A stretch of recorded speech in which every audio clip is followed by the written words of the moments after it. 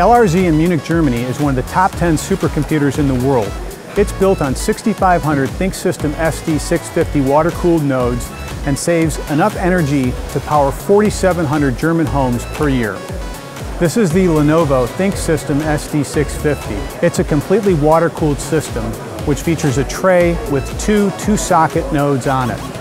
We can pump water into the system at 50 degrees Celsius or 122 degrees Fahrenheit for those on this side of the pond and keep the system cool.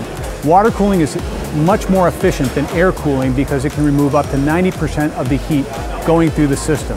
It also runs extremely quiet because the only fans in the system are the power supply fans and there are no system fans.